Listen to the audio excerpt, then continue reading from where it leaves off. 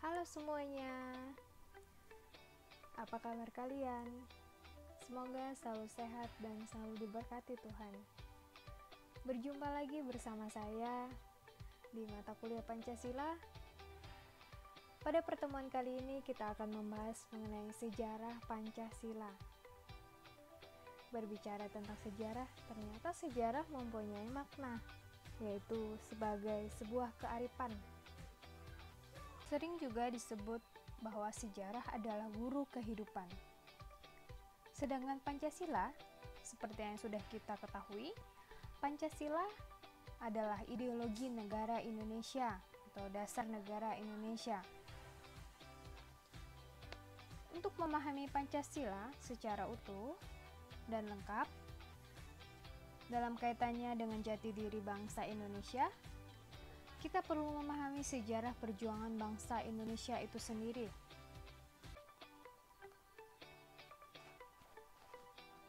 Pancasila dalam sejarah perjuangan bangsa dimulai pada masa kerajaan atau kebangsaan lama atau juga biasa disebut dengan pra-kemerdekaan dan kebangsaan modern atau pasca kemerdekaan.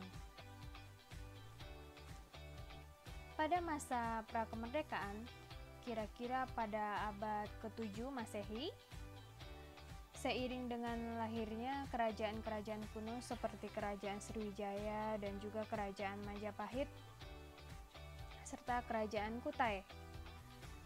Nah, pada zaman ini juga terdapat dua kerajaan besar, yaitu Kerajaan Sriwijaya dan Kerajaan Majapahit. Di Sumatera, pada abad ke-7, berdirilah kerajaan Sriwijaya di bawah kekuasaan Wangsa Sailendra. Kerajaan yang berbahasa Melayu kuno dan huruf Palawa adalah kerajaan maritim yang mengandalkan jalur perhubungan laut. Kekuasaan Sriwijaya menguasai Selat Sunda, kemudian Selat Malaka. Sistem perdagangan telah diatur dengan baik di kerajaan ini, di mana pemerintah melalui pegawai raja membentuk suatu badan yang dapat mengumpulkan hasil kerajinan rakyat sehingga rakyat mengalami kemudahan dalam pemasarannya.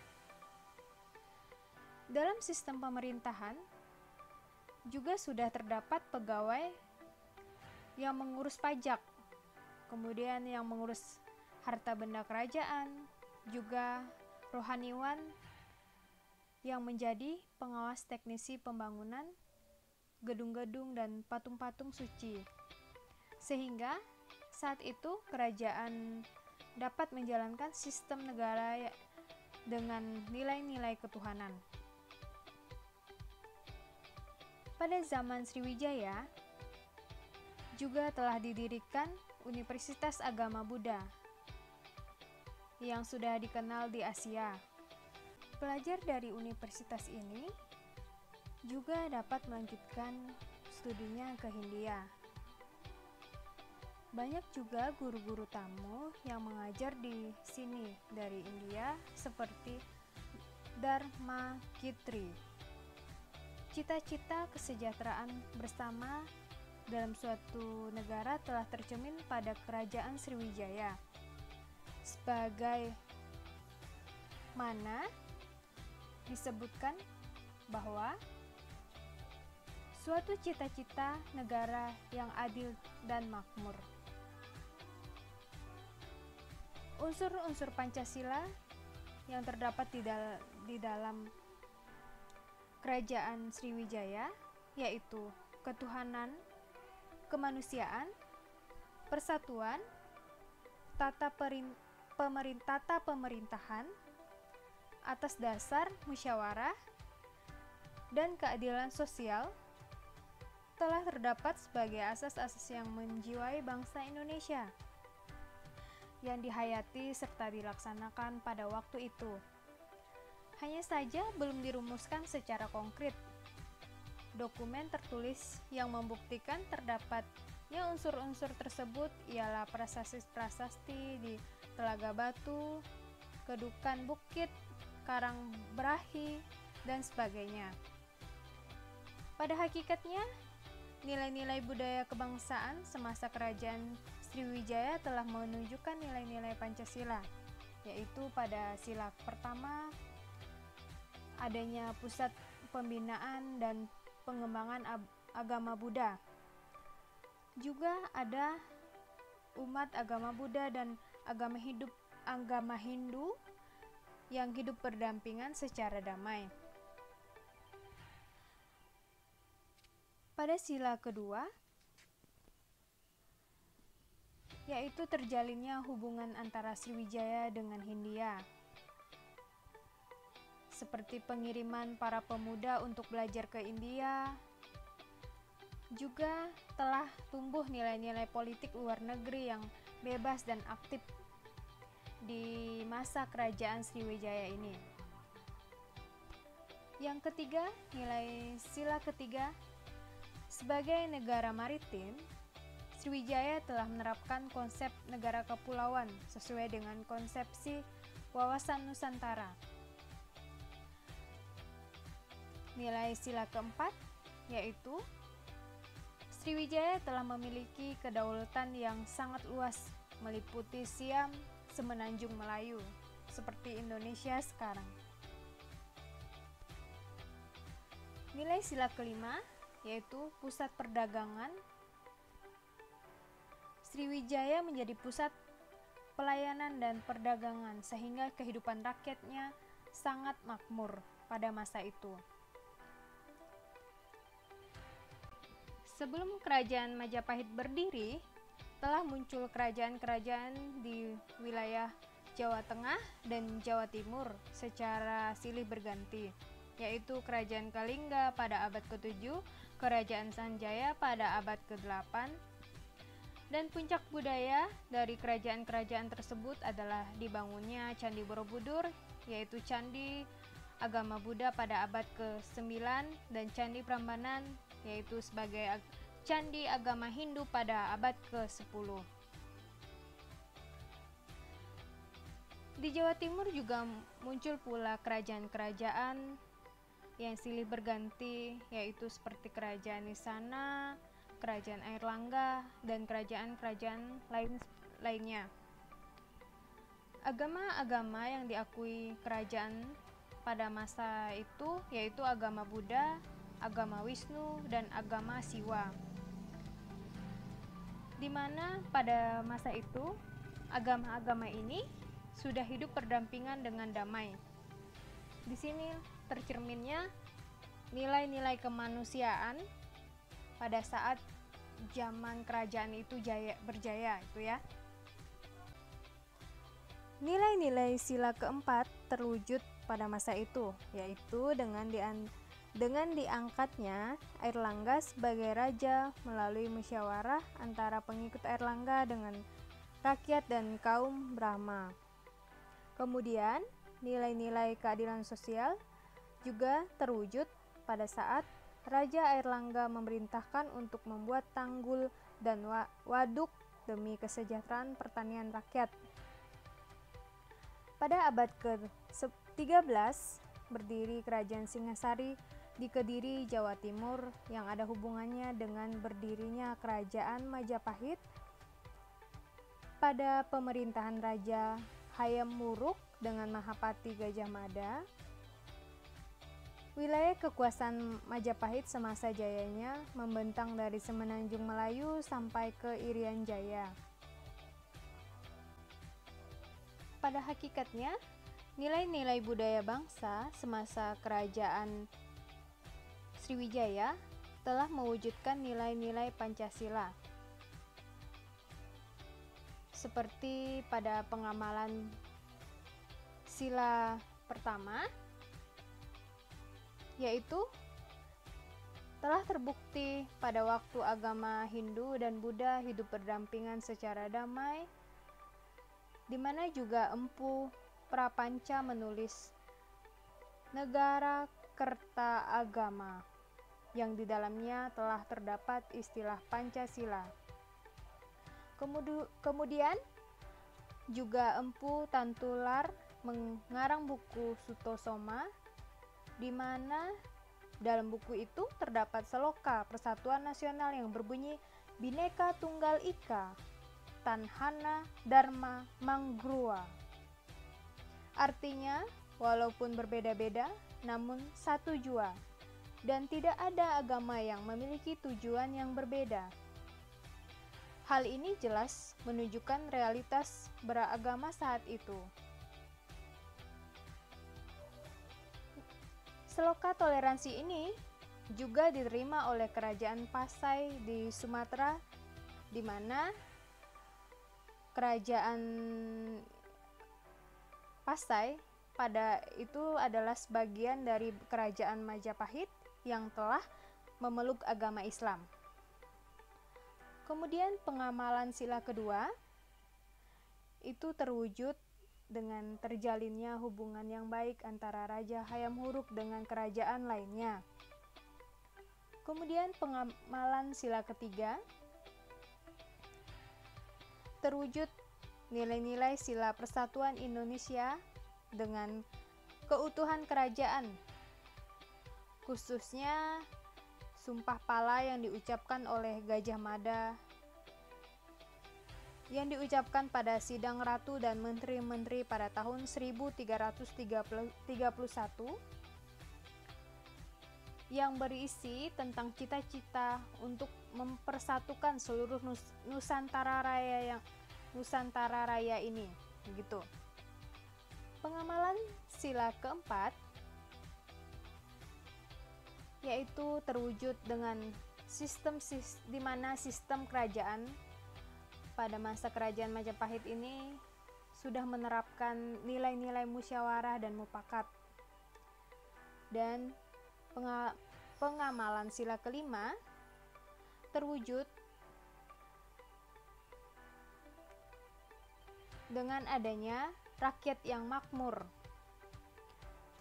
Nah, dari e, berdasarkan uraian di atas, berdasarkan uraian di mana tadi kita sudah mendengar penjelasan mengenai kerajaan Sriwijaya pada zaman itu dan kerajaan Majapahit. Ini adalah sebuah tonggak atau sebuah sejarah begitu ya, sejarah perjuangan bangsa Indonesia dalam mencapai cita-citanya gitu. Jadi adanya ada sebuah cita-cita yang harus di yang mau dicapai oleh bangsa Indonesia, itu perjuangan bangsa Indonesia itu sendiri pada saat itu. Pada masa pra kemerdekaan, masa penjajahan ditandai dengan bangsa asing yang masuk ke Indonesia. Kekayaan alam Indonesia dibuktikan dengan hasil buminya yang melimpah, terutama rempah-rempah menyebabkan keinginan bangsa asing untuk masuk ke Indonesia. Bangsa bangsa barat seperti Portugis, Spanyol, Inggris, dan Belanda yang membutuhkan rempah-rempah itu mulai perdatangan. Masuknya bangsa-bangsa asing ini juga dipengaruhi oleh keruntuhan Majapahit sebagai akibat dari perselisihan dan perperangan saudara. Yang berarti nilai-nilai nasionalisme sudah ditinggalkan oleh kerajaan Majapahit pada saat itu.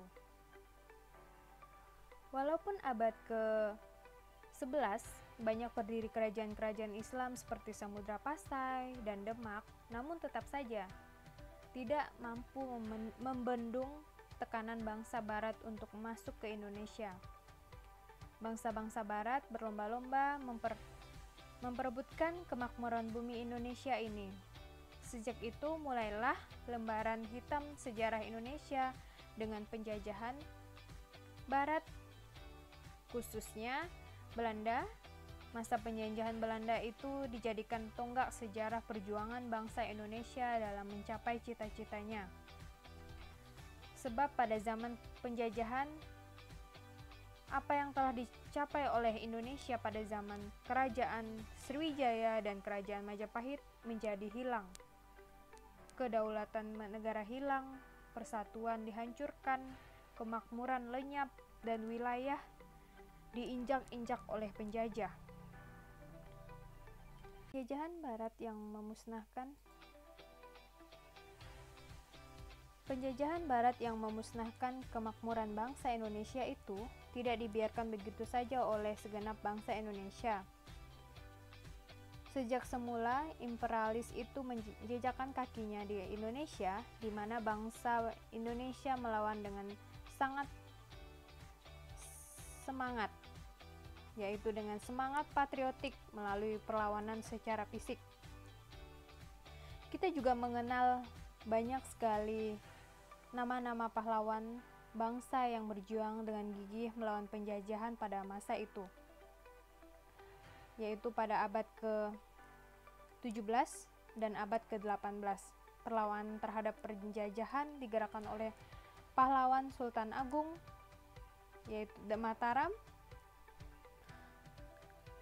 Is Iskandar Muda, Aceh,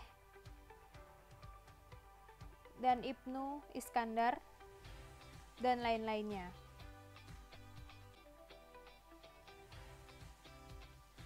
Ada yang tahu siapa beliau?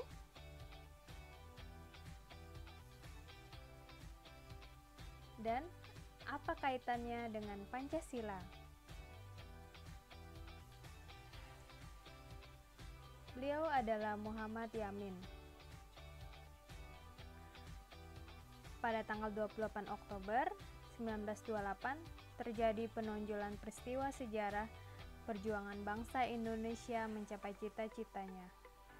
Pemuda-pemuda Indonesia yang dipelopori oleh Muhammad Yamin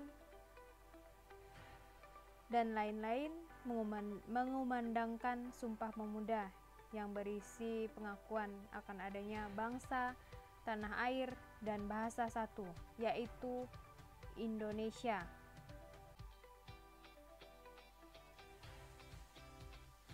Jadi, sidang pertama BPUPKI itu dilaksanakan pada tanggal 29 Mei sampai dengan 1 Juni 1945 di mana pada saat itu di sidang BPUPKI pertama ini membahas tentang hmm, dasar negara mau bagaimana sih dasar negara Indonesia kemudian membahas tentang bentuk negara juga filsafat negara Nah, di, di pada saat sidang berlangsung ada beberapa yang menge, mengemukakan pendapat yaitu ada tiga ahli yaitu salah satunya Muhammad Yamin, Dr. Dr. Supomo dan Insinyur Soekarno. Di mana yang pertama itu Muhammad Yamin menekankan bahwa dasar negara harus memiliki asas yang pertama itu pri kebangsaan, yang kedua pri kemanusiaan, yang ketiga pri ketuhanan, dan yang keempat pri kerakyatan, dan yang kelima itu adalah kesejahteraan rakyat. Dan Dr. Sopomo juga mengemukakan pendapatnya bahwa dasar negara Indonesia itu harus memiliki asas yang pertama itu ada persatuan, kedua musyawarah, yang ketiga mufakat dan demokrasi, dan yang keempat yaitu kekeluargaan. Dan yang kelima adalah keadilan sosial. Kemudian yang ketiga yaitu Insinyur Soekarno juga mengemukakan pendapatnya bahwa dasar negara Indonesia itu harus memiliki asas yang pertama itu nasionalisme, yang kedua internasionalisme atau pri kemanusiaan, mufakat atau demokrasi, yang keempat, kesejahteraan sosial. Yang kelima, ketuhanan yang berbudaya. Menurut Insinyur Soekarno, dari ketiga pendapat atau ketiga asas yang sudah dikemukakan ini masing-masingnya itu lima, lima asas yang dikemukakan ini masih bisa e, bisa dipersingkat lagi menjadi yaitu disebut dengan Trisila di mana yang menekankan sosionasionalisme, sosiodemokrasi, dan ketuhanan. Bahkan bisa dipersingkat lagi menjadi ekasila, yaitu yang ter yaitu yang memuat tentang asas kebudayaan. Tetapi pada saat itu diputuskan bahwa eh, Pancasila yaitu sebagai nama dari dasar negara Republik Indonesia itu baru saja eh, maksudnya itu baru nama nama Pancasila itu ditetapkan sebagai nama eh, sebagai dasar negara Republik Indonesia. Kemudian itu diresmikan pada tanggal 1 Juni 1945 sehingga Hari Pancasila itu diperingati pada tanggal 1 Juni di setiap tahunnya. Atau hari lahirnya Pancasila itu diperingati 1 Juni.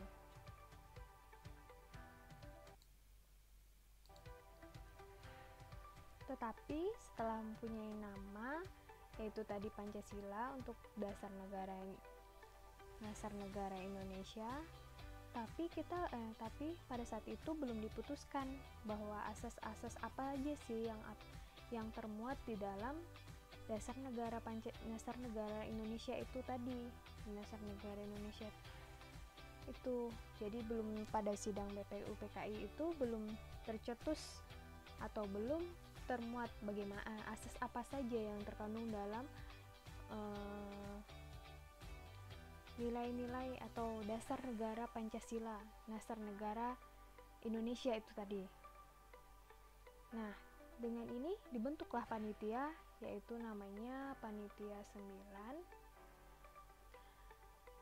Panitia 9 ini yang bertugas untuk merumuskan atau memberi masukan-masukan lagi mengenai asas apa saja yang harus ada di dalam dasar negara Indonesia.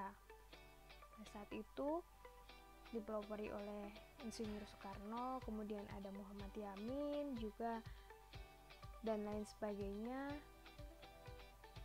Ada mereka, uh, mereka merumuskan, jadi mereka merumuskan kemudian memberi masukan apa saja yang harus ada di dasar negara Indonesia. Kemudian setelah itu uh, setelah itu tercetuslah pada Piagam Jakarta pada tanggal 22 Juni yaitu pada saat itu pertemuan penting eh, Piagam Jakarta disebut Piagam Jakarta yang dilaksanakan pada tanggal 22 Juni 1945 di mana di di mana pada sidang itu tercetuslah bahwa asas yang harus ada di dasar negara Indonesia itu yang pertama yang pertama itu harus ada asas ketuhanan dengan kewajiban menjalankan syariat, syariat, syariat Islam bagi pemeluk-pemeluknya.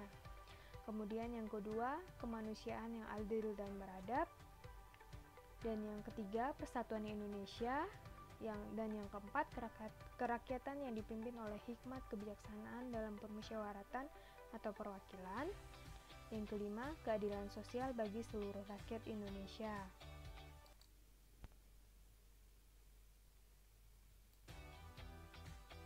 Tapi untuk poin yang pertama yaitu ketuhanan dengan kewajiban menjalankan syariat Islam bagi pemeluk-pemeluk pemeluk-pemeluknya itu sedikit memicu perdebatan pada saat itu. Jadi karena seperti yang kita ketahui bahwa pada masa itu hmm, negara Indonesia, maksudnya Indonesia sudah uh, adalah uh, negara majemuk begitu ya yang memiliki ras, agama dan kebudayaan yang beragam gitu. Jadi uh, para pem para pemeluk eh maksudnya para uh, yang non Islam begitu orang-orang yang non Islam atau mereka yang menganut agama non Islam itu menentang untuk mendapat pendapat ini pendapat yang pertama yaitu ketuhanan dengan kewajiban menjalankan syariat Islam karena mengapa demikian karena e, negara pada saat itu negara Indonesia atau Indonesia tidak hanya ada Islam saja, tetapi banyak ras, kebudayaan, dan e, agama itu sendiri. Oke, jadi setelah diadakan adanya perdebatan antara masukan dari tadi bahwa apa di Piagam Jakarta bahwa tadi membahas tentang ketuhanan dengan kewajiban menjalankan syariat Islam bagi pemeluk-pemeluknya ini yang menjadikan sebuah pro kontra.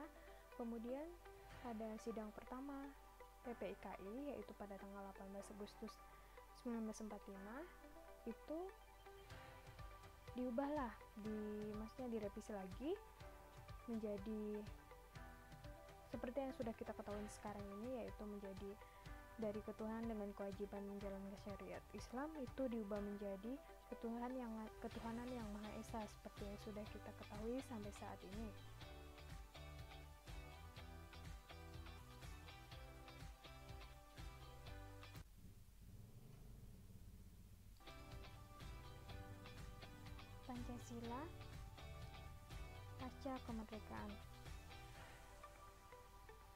Tadi di di mana kita dijelaskan bahwa Pancasila pra kemerdekaan itu dimulai dari pada masa kerajaan kemudian pada masa penjajahan hingga terbentuknya nah, Pancasila sebagai dasar negara kemudian asas-asas dan yang terkandung dalam Pancasila itu sendiri.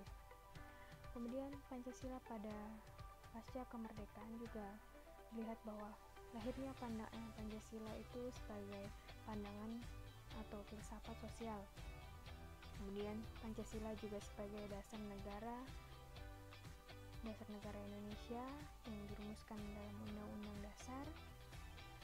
Kemudian Pancasila juga sebagai pandangan hidup bangsa dan yang juga nilai-nilai Pancasila itu termuat dalam instruksi Presiden nomor 12 tahun tahun 1998 kemudian ketetapan MPR nomor 2 tentang pedoman penghayatan dan pengamalan Pancasila itu sendiri.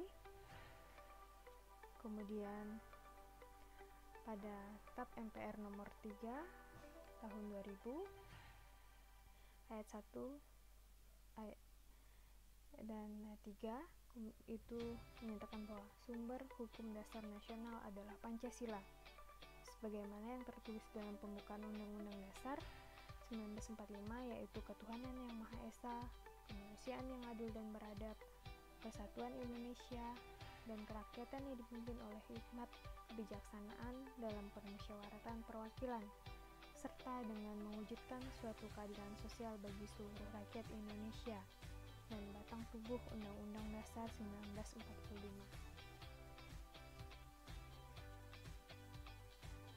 Pancasila merupakan sumber segala sumber hukum negara. Itu juga termuat dalam Undang-Undang Republik Indonesia Nomor 12 Tahun 2011.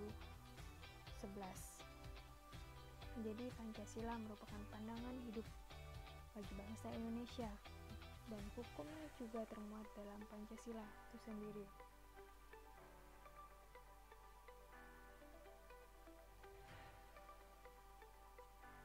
Yang kita ketahui bahwa Pancasila juga uh, Pancasila dilambangkan dengan burung Garuda di mana ada yang uh, ada bintang yang melambangkan ketuhanan yang Maha Esa ada rantai yang melambangkan kemanusiaan yang adil dan beradab pohon beringin melambangkan persatuan Indonesia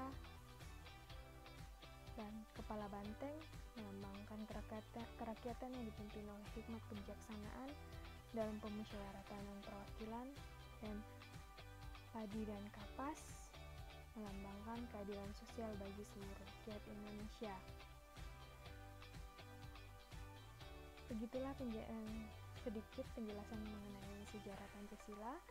Mungkin kalian juga sudah mendapatkan pelajaran ini di bangku SMA atau mulai dari SD kita di saat, saat ini hanya mengulas sedikit tentang sejarah uh, sejarah Pancasila dalam perjuangan bangsa Indonesia.